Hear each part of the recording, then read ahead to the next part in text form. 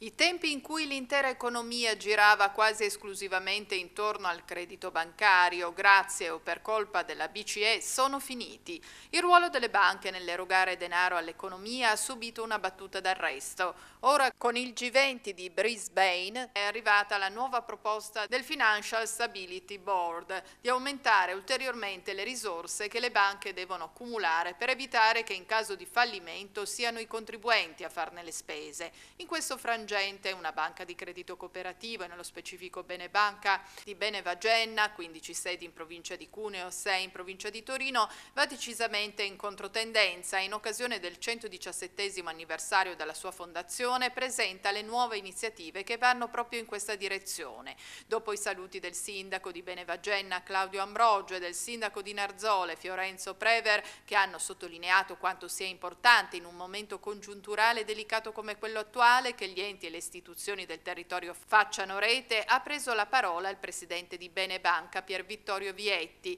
che ha rivolto il suo saluto ai soci dell'istituto. Abbiamo voluto questa serata per far vedere a tutti che Benebanca è viva e vegeta,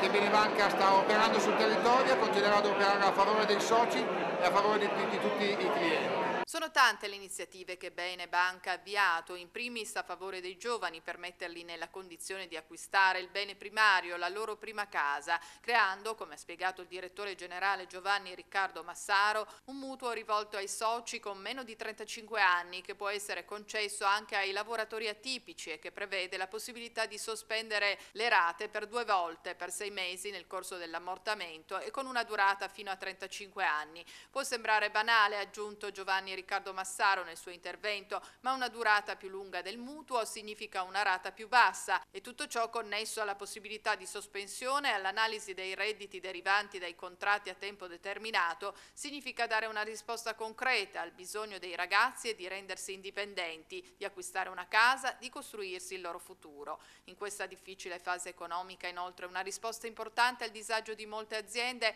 arriva da parte di Benebanca e Confartigianato Fidi Cuneo nel corso corso della serata è stato siglato infatti un importante accordo che prevede, come hanno spiegato il presidente di Confartigianato Fidi Cuneo Giacomo Pirra e il presidente provinciale di Confartigianato Cuneo Domenico Massimino, in esclusiva per i soci, lo stanziamento di un plafond di 20 milioni di euro per gli anni 2014-2015 per acquisto scorte, assunzione personale, finanziamento, trattamento di fine rapporto e immobilizzazioni immateriali affinché gli artigiani possano a loro volta investire e credere nel territorio.